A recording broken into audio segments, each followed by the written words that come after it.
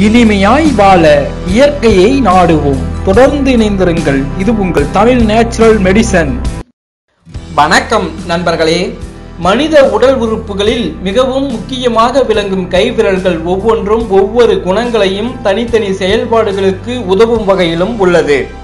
இத்தகைய முக்கியத்துவம் வாய்ந்த விரல்களில் வீக்கம் வலி காயம் போன்றவை ஏற்பட்டால் அதை அலட்சியப்படுத்தக்கூடாது.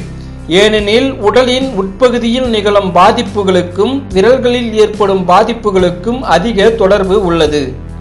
விரல்களுக்கு செல்லும் நரம்புகள் இரத்த குழாய்கள் எலும்புகள் மற்றும் தசைகள் போன்ற உறுப்புகளின் பாதிப்பை வெளிப்படுத்தும் அறிகுறியாக கூட விரல்களில் வலியை ஏற்படுத்தலாம்.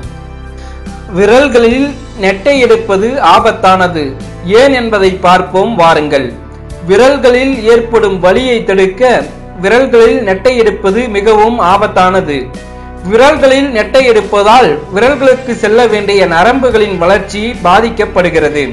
ஆனால் நெட்டை எடுக்கும் நேரத்தில் சுகமாக இருந்தாலும் அதன் பின் பக்கவாதம் ஏற்படும் அளவிற்கு அது பாதிப்பை உண்டாக்கிவிடும்.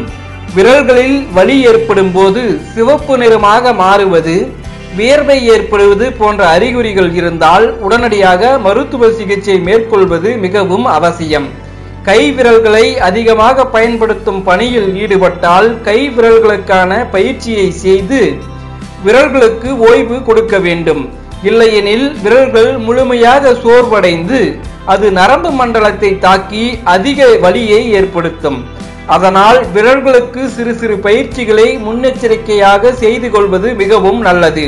இது போன்ற பயனுள்ள மருத்துவ குறிப்புகளை பெற்று பயன்பெற தொடர்ந்து இணைந்திருங்கள். இது உங்கள் தமிழ் நேச்சுரல் மெடிசன்.